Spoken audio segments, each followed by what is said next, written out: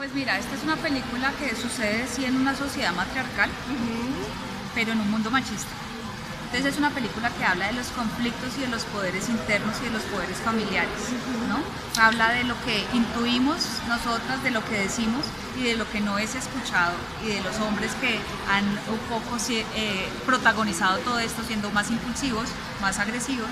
Es una película que lidia entre lo racional y lo intuitivo y pues para mí fue una cosa, eh, eh, digamos que a medida que pues la película, que empezábamos la investigación y que eh, queríamos contar esta película y que entendíamos que el, diferencial de la película iba a ser que fuera contada desde una sociedad matriarcal, eh, eh, pues mi participación tuvo que ser más fuerte y más presente y pues digamos que tuvimos que hacer esta codirección. Y en lo personal pues romper como muchos miedos, ¿no? O sea, pero siento que ya venían sucediendo. Cuando hicimos el abrazo de la serpiente mi participación creativa fue muy fuerte eh, en un límite muy difuso entre la producción y el guion y el montaje y también el, el, apoyo a esta carrera de Ciro, pues digamos que hemos construido a lo largo de 15 años y de ser una mujer soporte, ¿no? Eh, o, sea, un poco el rol que nos ha, que nos ha puesto un poco la sociedad. Eh, y que nosotros no hemos asumido también, entonces pasar de no quiero ser esto, sino que quiero que esto se ha dicho y que se ha dicho en, mi universo y además que yo ya no esté detrás, sino que esté al lado. ¿No? Entonces, eh, pues sí, nos implicó una cosa personal eh, bien fuerte eh, a los dos, ¿no? Tanto a Ciro, pues digamos que, pues, claro, la verdad que Ciro fue como súper tranquilo porque era un proceso también natural, pero para mí era como una reivindicación muy, muy dolorosa, ¿no? Porque, o sea, digamos que pasar del silencio a, a, sentar posiciones, pues necesita como una valentía que no tenía, pero pues estoy tratando. Lo más gratificante era sentirte en tu región, ver el respeto de Cristina y de Ciro sí, a nuestras tradiciones. Ellos la trataron como una joya.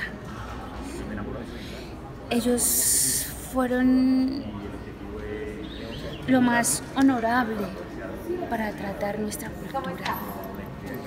Y aparte de ese tratamiento, es, es ver a, a Ciro y a Cristina transformar nuestro paisaje, nuestras costumbres y volverlo poesía.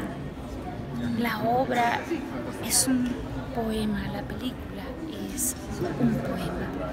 El Wayunaiki fue sin duda el reto más grande. Es una lengua que no tiene nada que ver con lo que nadie se imagina. Es una lengua nasal, cultural, tiene unos sonidos que nosotros no tenemos el oído acostumbrado a hacer.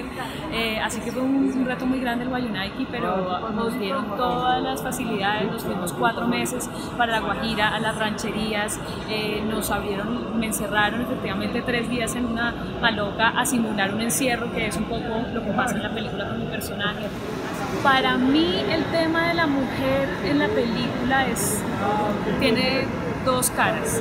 Eh, la sociedad Wayu es una sociedad matrilineal.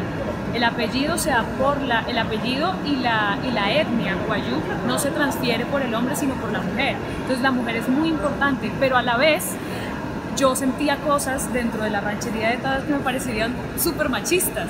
Entonces es una, una, sociedad matrilineal en la que la, la, mujer es muy importante, pero también en la que la cultura, el vallenato, el ron, el chinchorro, permite una cantidad de cosas que pues para mí eran impensables. Entonces eso es lo bonito de la película, que van a ver una cultura compleja en la que la mujer es muy importante, pero también la mujer es la dueña de la ranchería, pero el tío es el que puede hablar, el palabrero es el que toma las decisiones. Entonces hay un, hay un, es una cantidad de contrastes que que van a adorar porque es lo fascinante precisamente de, esta cultura y un poco mi personaje Zaida lo que refleja es em, esas costumbres, esa raíz guayú, pero también un poco la rebeldía contra ese sistema establecido un poco machista. Em, y ella está todo el tiempo tratando de decir, pero ¿por qué?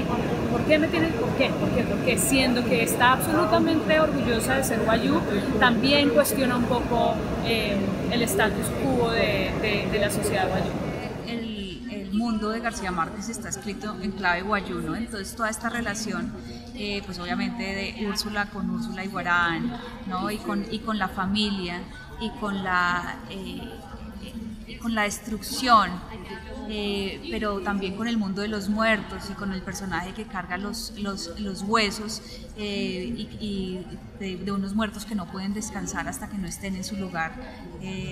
entonces, sí, pues digamos que encontramos como en todo este universo un mundo que era muy femenino, ¿no? Del que, al que pues digamos que accedimos por, por, por, ese lado, accedimos por el contacto con las mujeres, accedimos con el contacto también con los palabreros, nuestro palabrero eh, José Vicente Cotes eh, también nos hacía de intérprete de sueños eh, al equipo de producción, entonces pues es un mundo súper interesante.